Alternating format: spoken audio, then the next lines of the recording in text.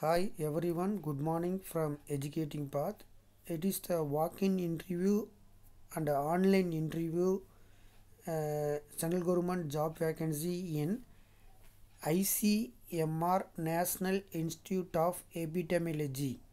So ICMR National Institute of Epidemiology, it is located in Chennai. So they are recruiting the project assistant scientist C level in medical, technical officer statics, junior nurse, scientist C level non medical, scientist B level non medical, data entry operator grade, grade A, scientist C non medical, technical assistant, technical assistant lab, computer programmer grade A, personal assistant, senior research fellow, semi skilled worker, consultant, technical assistant, and various post projects.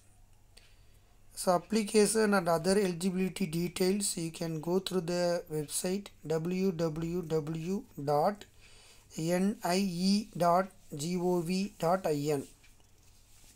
So, don't forget it is a walk-in interview or online interview job vacancy.